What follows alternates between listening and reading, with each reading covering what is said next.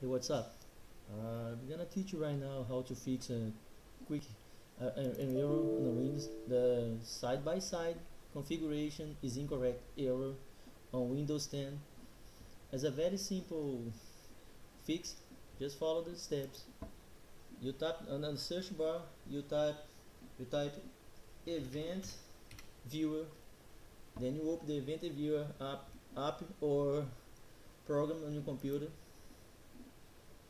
go to the Windows logs application. Click on the arrow side by side. Copy those numbers. Here the version number. Open your internet browser and search for the number.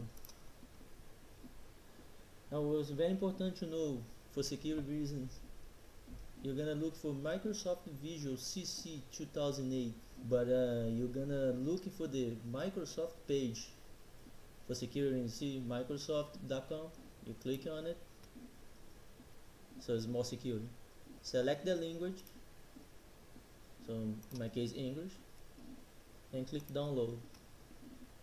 You select the file VC Redist x86 exe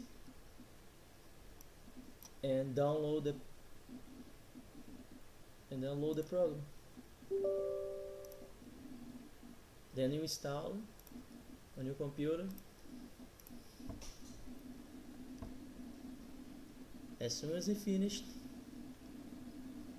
you're ready to go. The program supposed to the, the, the error is supposed to be fixed and the program is supposed to open. So done close and let's see again. See problem fixed.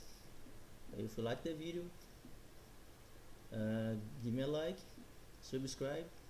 I'll try to put more videos very soon. Thanks for watching